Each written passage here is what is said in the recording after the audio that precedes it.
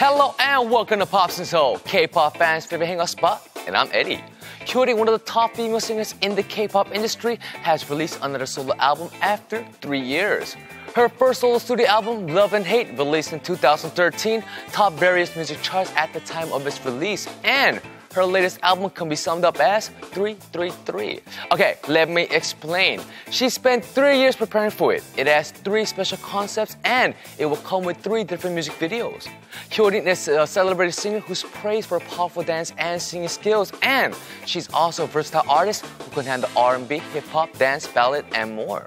She has done a lot of collaborations, including the ones with international artists such as Giorgio Moroder, a master of electronic music, as well as American electronic group Far East Movement.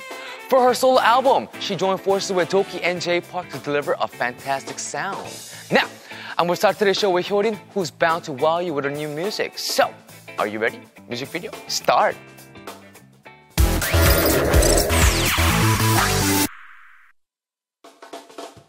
It's now time for Pick and Talk, a Q&A session with the hottest K-pop stars. When K-pop stars visit Pick and Talk, they must brace themselves and get ready to answer truthfully to all of the questions, including the tough ones. Once again, today I have another candid interview with K-pop stars in store for you. So, get ready for another wild ride on Pick and Talk, which starts right this minute.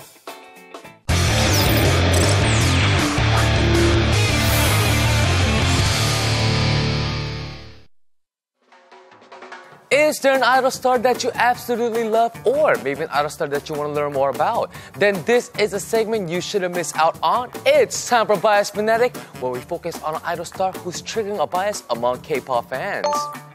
In order to gain success as an idol star, you need to have it all. You need the looks, the talent, and plus, you have to be very witty, funny, energetic, and more. The star I'm gonna focus on today is someone who has it all, and plus, he's a relatively a fresh face in the K-pop industry. Fana already seemed excited about today's bias fanatic. Well, before we get started, let me give you a few hints about him. He's one of the seven boys who are very lucky, and he's like the younger version of Ok Taec who's called Bingu because he seems dumb in a cute way. Hmm, can you guess who it is?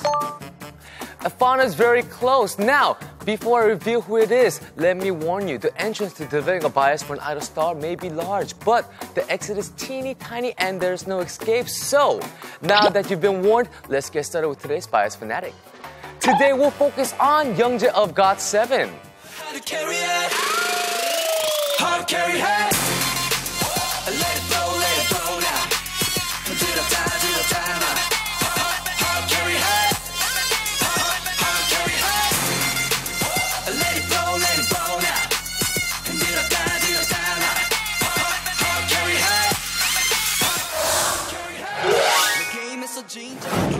Before we get down to the details, let's first check out his basic profile. GOT7 Dub, the boyfriend idol group, is comprised of seven members who are all very good looking.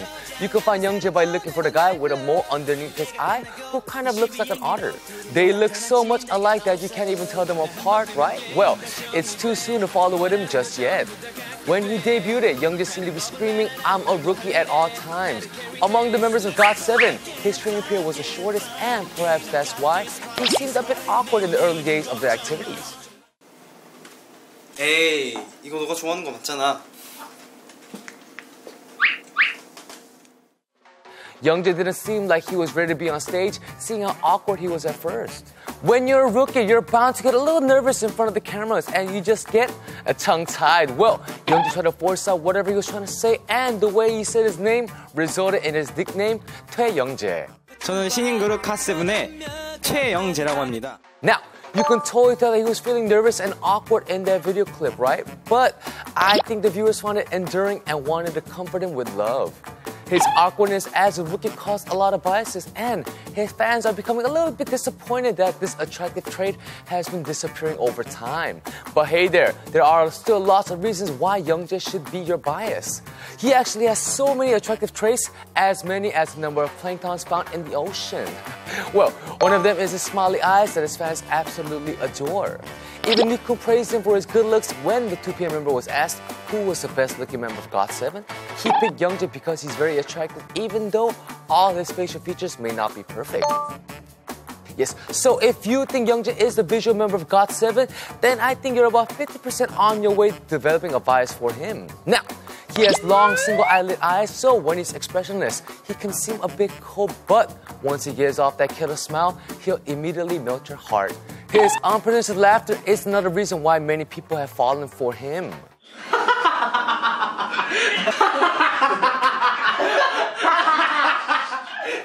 His laughter is so contagious that he'll just crack you up even when the other members tease and torment him. He's always smiling and laughing, which shows what a nice guy he is. Youngjae seems like a Bingu at times, but he's a very hardworking guy who's truly a professional. Have you heard him sing? I mean, wow. 세상 누구보다도 그 어떤 여자보다도 내겐 네가 제일 예뻐 믿어 누가 뭐라 해도 His crystal clear vocal sounds very refreshing. Hmm? Youngjae, the main vocalist of GOT7, says that he relieves his stress by singing and he even sings in his sleep. Some of the main vocalists of idol groups are not very skilled when it comes to dancing. Youngjae also began receiving dance training after he joined GOT7. That's why there were days when he spent all day practicing dancing when he was a trainee. His hard work paid off in the end, and he's become a great dancer like the rest of his group. Now, we got to zoom in on Youngjae of GOT7 today.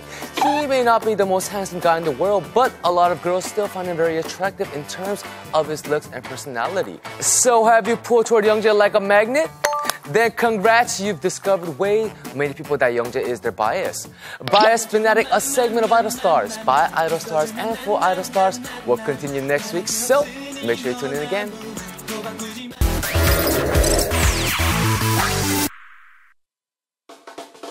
I can't believe it's already time for us to say goodbye. That's all I had in store for you today, and I'm gonna wrap up the show with the K-pop cover videos on Be Like a K-pop Star.